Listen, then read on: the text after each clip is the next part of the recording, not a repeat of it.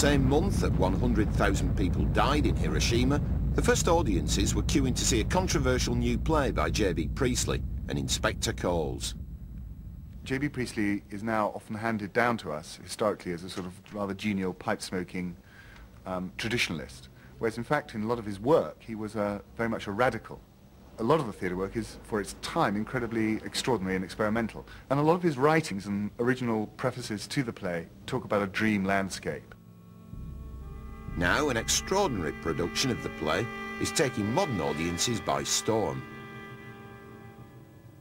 It's a bit like a great old masterpiece. What one's trying to do to a play like this is take away a lot of the grime and the dirt that have accumulated over the years and try to see the sharp, bright colours um, underneath.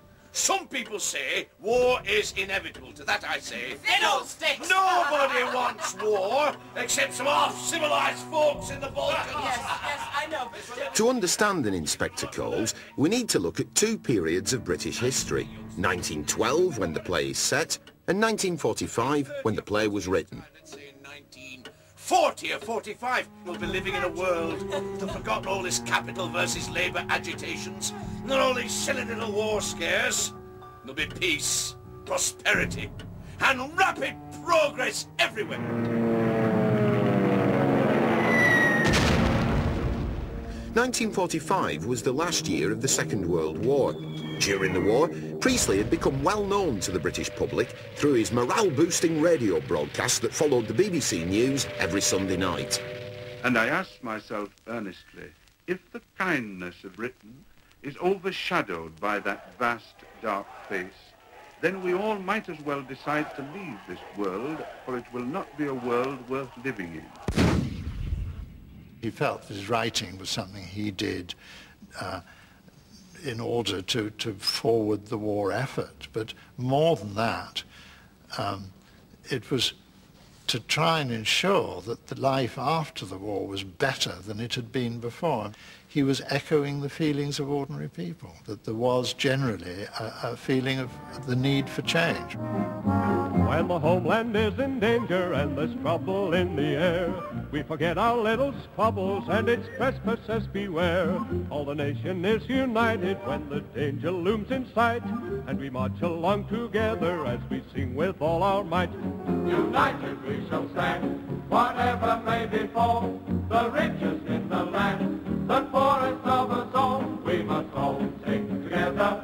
Birds of a feather and the crowd will soon roll by.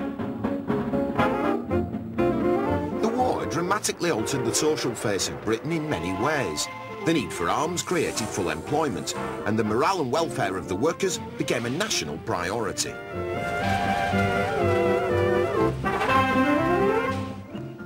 Evacuation of children mixed classes together, and for the first time showed people how the other half lived. The classes were also mixed together in the armed forces.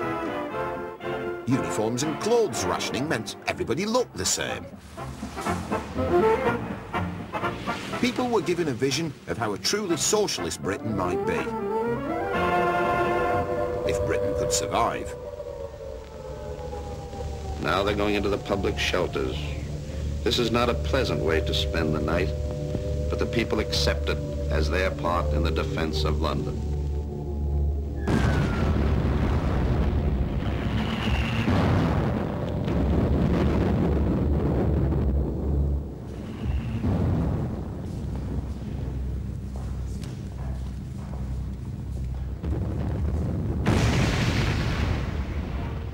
Britain did survive. The war was over. But what should Britain do now? Priestley caught the mood in his famous radio broadcast, Journey into Daylight. We lived at last in a community with a noble common purpose. We had a glimpse then of what life might be if men and women freely dedicated themselves not to their appetites and prejudices, their vanities and fears, but to some great communal task. Immediately after the war, there was a general election. Winston Churchill, the hero of the war, expected to win, but he underestimated the desperate need for change in the war-battered population. People wanted a new Britain. The Labour candidate, Clement Attlee, won a landslide victory and moved into number 10. You, sir, an inspector's called. Does he want to see me? Yes, sir. Says it's important. Oh, all right, then, just show him in here. Uh, give us some more light. Priestley set his play in 1912 because that era represented the very opposite of what people were hoping for in 1945. Two hours ago, a young woman died in the infirmary. She was taken in this afternoon because she'd swallowed a lot of strong disinfectant. Burnt her inside out, of course. Oh, my God. Yeah, she was in great agony. They did everything they could for the infirmary, but she died. Suicide, of course. Yes, yes, horrible business, but I don't understand why you've come here. The play is about do we return back to the values of an Edwardian era or do we move forward? The actual night that the play is set on is the night that the Titanic sunk, the great celebratory moment of the great dream which was about to collapse. I remember it quite clearly now. You're a lively, good-looking girl. Country bred, I fancy. Been working in one of my machine shops for over a year. Good worker too. In fact, the foreman there told me he was ready to promote her into what we call a leading operator, head of a small group of girls. But when they came back from their holidays that August, they're all rather restless. And they suddenly decided to ask for more money. Well, they're averaging 22 and 6 a week, which is neither more nor less than is paid generally in our industry. They wanted the rate raised, so they would average about 25 shillings a week. Eight million people were living on incomes of less than 25 shillings. That's £1.25 a week. Millions were underhoused, underfed and under the thumb. Working women were at the bottom of the pile. Goods were churning out of the factories, and we were so successful. And we were successful because we kept, as he says in the play, the prices high, but the wages were kept low. So they all went out on strike. Didn't last long, of course. Not if it was just after the holidays. They'd be all broke if I know them. Quite right, Gerald. They mostly were. So was the strike after a few weeks. Pitiful affair. Mr Birling's complacency was misplaced. The labour force was on the move and finding its voice. On March the 1st, 1912, a million miners went on strike.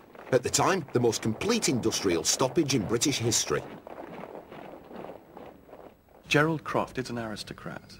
The idea of labour, strikes, the growth of the working class is a, an appalling idea. I think he, he finds it completely outrageous that, uh, that there is such a, a movement existing. Britain was divided and ruled by class. The upper class, they owned most of Britain and earned most of the money. The working class, the Eva Smiths, paid the price. Eva Smith. She was one of them. She'd had a lot to say, far too much. So she had to go. You couldn't have done anything else. He could. He could have kept her on instead of throwing her out. I call it tough luck. Rubbish! If you don't come down sharp on some of these people, they'd soon be asking for the earth. I should say so. They might.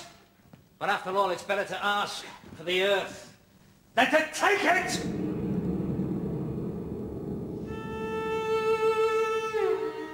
Edna represents the underdog. She has to obey the Birlings. She has to agree with them. She must never question what they say or do because they are her bread and butter. It's not easy to get a job, particularly at her age. And if she didn't get another job, it would be the workhouse. And the workhouse in those days was a desperate place. Some writers were concerned about the way people were living and the appalling social conditions at the time. But you three youngsters just remember what I tell you now. We can't let these Bernard Shaws and these H.G. Wellses do all the talking. For the vast majority, there was little education and little or no sanitation, no dole to fall back on, and no national health service to rely on.